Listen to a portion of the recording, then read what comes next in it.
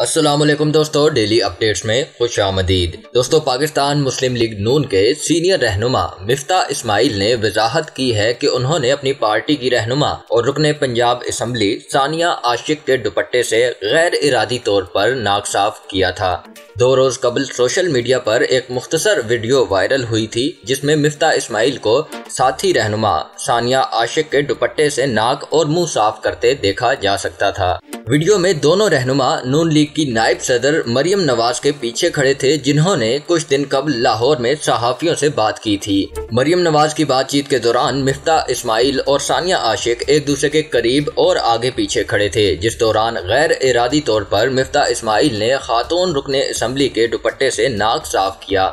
Viral होने वाली video में देखा जा सकता है कि मिफ्ता, इस्माइल अपने आगे खड़ी सानिया आशिक के दुपट्टे के कोने को पकड़कर इससे अपनी नाक और मुँह साफ़ करते हैं। वीडियो में ऐसा किए जाने के बाद मिफ्ता इस्माइल के करीब खड़े दूसरे शख्स कान में इन्हें कुछ कहते भी दिखाई देते हैं। मस्कूरा वीडियो वायरल होने के बाद मिफ्ता इस्माइल को सख्त तनकीद का निशाना बनाया और उन्हें मशवरा दिया गया कि वो अपने साथ टिश्यू रखा करें। साथ ही कुछ लोगों ने मिफ्ता इस्माइल के मजकूरा अमल को हरेसमेंट भी करार दिया। वहीं बाज लोगों ने उनके अमल को गैर अखलाकी भी कहा। बाज़ अफराद ने लिखा कि मफ्ता इसमाइल की जानब से सानिया आशिक के दुपट्टे से नाक साफ़ किए जाने के वाक़े को मज़ाक के तौर पर लिया जा रहा है। ताहम, दरअसल, ये हसास और बर्दाश्त से बाहर का मामला है। इस अमल पर किसी भी पार्टी रहनुमा ने सख्त रद्द अमल नहीं दिया।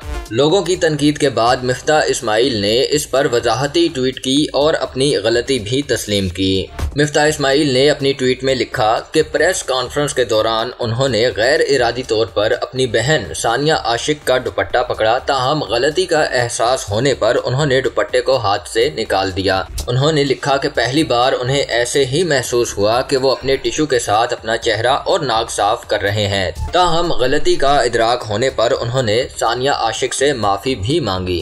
अब तक के लिए इतना ही दोस्तों। मजीद वीडियोस के लिए मेरे चैनल डेली अपडेट्स को सब्सक्राइब कीजिए और बेल आइकॉन पे क्लिक कीजिए ताकि मजीद आने वाली वीडियोस आप तक सबसे पहले पहुँच सकें। अल्लाह हाफिज़।